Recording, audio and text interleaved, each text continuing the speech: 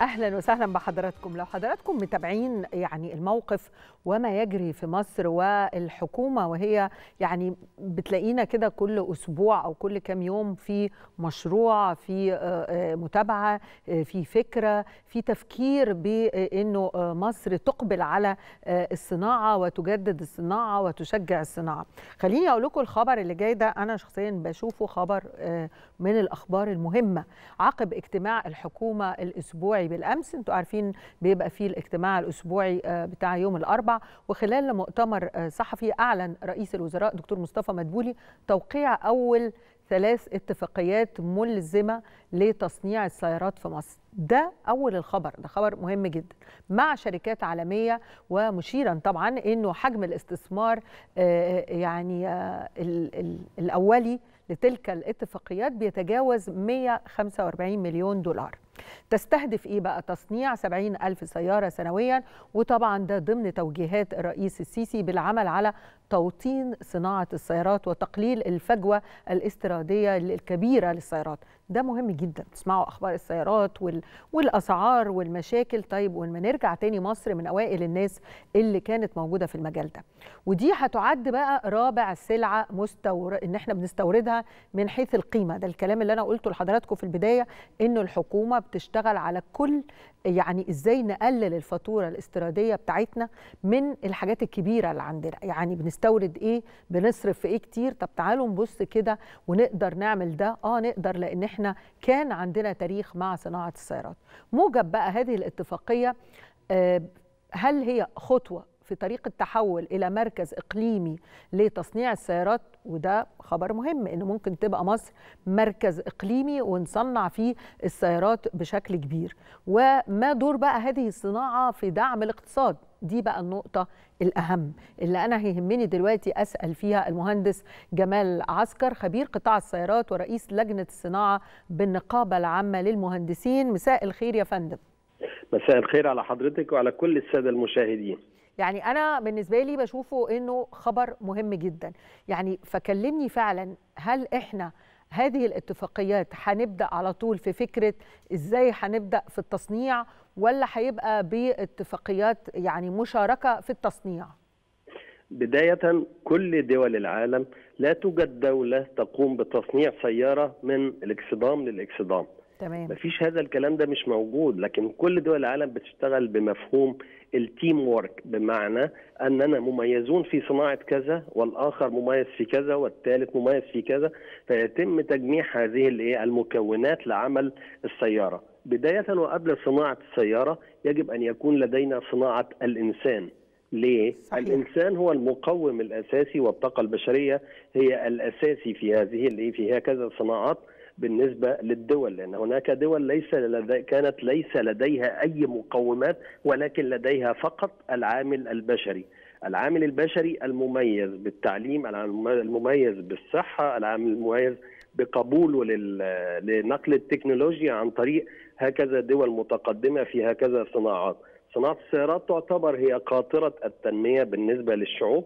اتفاقيات تتم بعد أن أقر فخامة رئيس الدولة إقامة المجلس الأعلى لصناعة السيارات وقام هذا المجلس برئاسة معالي دولة رئيس الوزراء بعمل اجتماعات مع شركة نيسان مع شركة جيم موتورز للعمل على إنتاج السيارات الكهربية. ليه؟ لماذا تتجه مصر نحو السيارات الكهربية؟ ليه؟ لأن كل دول العالم الآن تتجه إلى هذا صحيح. الإطار. تكلم إن إحنا عندنا في مصر مشكلة كبيرة جدا هي مشكلة اللي بدأ بها فخامة رئيس الرئي فخامة رئيس الدولة برؤية مصر 2030 بيئه وطاقه وشباب بيئه لأن الانبعاثات الكربونية السامة أصبحت تشكل خطر جسيم على المواطن المصري. طبعا. الطاقة لاستهلاك المحروقات بشيء بمبلغ يتجاوز 15 إلى 16 مليار دولار سنويا.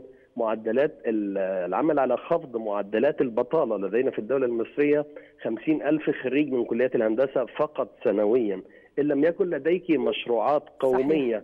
تقوم باستغلال هؤلاء الشباب في هكذا عمر إحنا بنتكلم إن الدولة المصرية فيها 55% من تعداد السكان عمره يتراوح من 20 إلى 30 سنة فده صحيح. عمر الظهور بالنسبة للشباب وبالنسبة للدولة طيب يبقى إحنا الكلام اللي حضرتك بتقوله ده ده كلام يسعدني جدا. إحنا أمام اتفاقيات بإن إحنا يعني إيه تصنيع السيارات. ومصر كان عندها الحقيقة خبرة وكان عندها يعني وجود في هذا المجال من سنوات قديمة جدا. أعتقد إنه الآن أن تدخل مصر هذه الاتفاقيات بالتحديث والتقنية الموجودة وأيضا بالشباب والتعليم اللي بقى مختلف. أعتقد إن إحنا ممكن يبقى عندنا يعني إنجاز مختلف. ويعني كلمني على النقطة دي بقى تحديدا. طبقا لتوصيات رئيس الجمهورية لمعالي وزير التعليم العالي بالعمل على افتتاح المعاهد التكنولوجية والكليات التكنولوجية ومدارس التعليم الثلاث سنوات صناعي. وخمس سنوات صناعيا. هذا هو المؤثر في هذه الصناعة. ليه؟ لأن بداية عندما نقوم بتصنيع سيارة لن نقوم بتصنيع سيارة في منتهى التكنولوجيا أو السيارات اللي هي الخاصة. يعني لدينا في السيارات الكهربية طبعا يعني ثلاث شرائح. الشريحة الأولى هي الشريحة البسيطة يعني بتتكلم في 350 إلى 450 ألف جنيه. بنتكلم على شريحة ثانية من 700 إلى 800 ألف جنيه. بنتكلم على شريحة من أول مليون و200 ومليون وربع لغاية 3 مليون 3 مليون ونص. لكن إحنا لما بنيجي نستهدف لازم نستهدف نستهدف السواد الأعظم من الشعب. طبعا. بمعنى إن الحالة الاقتصادية مؤثرة. ليه؟ لأن مثلا على سبيل المثال معدلات مبيعات السيارات في السوق المصري سنويا السنة دي لغاية من أول سنة 2017 إلى الآن متوسطه 150 ألف عربية في السنة. معنى ذلك أن معدلات البيع تكاد تكون متدنية. 150 ألف عربية لشعب قوامه 100 مليون نسمة.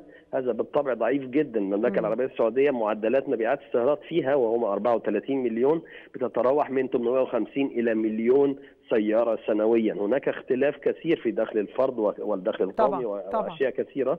ولكن بالنسبة لنا 150 ألف سيارة ده مش عدد يعمل سوق في سوق سيارات في بالنسبة لدولة زي مصر.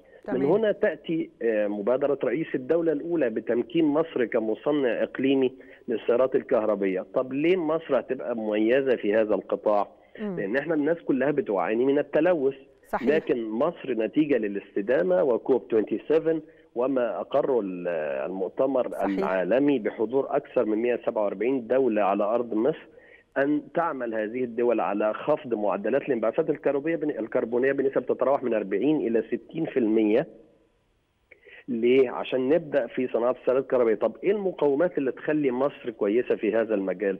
لدينا مصانع عديدة وكان لدينا منذ 17 سنة أو 18 سنة تمام. مصنع شركة النصرات الشركة صحيح. الوطنية المصرية عندما كان يقودها رجل هو رجل صناعة بالدرجة الأولى وهو المهندس عادل جزرين وهنا صحيح. نتحدث عن أصحاب الخبرات المتراكمة في هذا المجال لأنه ليس لا ليس كل مهندس هو مهندس ولكن هذا المهندس هو مهندس إدارة لديه من. الليدرشيب وكان عنده نجاحات كبيرة جدا يعني. بالضبط كده فاحنا يجب أن نشير بالبنان إلى هكذا شخصيات تقود هكذا منظومات في مثل هذه الفترة العصيبة والاقتصاد المتردي على مستوى العالم نتيجة لوجود فيروس كورونا المستجد نتيجة لوجود لعدم وجود آه الرقائق الإلكترونية التي تستخدم في صناعة صحيح. السيارات وخاصة السيارات الكهربية لدينا مشاكل في سلاسل الإمداد نتيجة لوجود حرب تدور رحاها على أرض أوكرانيا ما بين روسيا وأوكرانيا.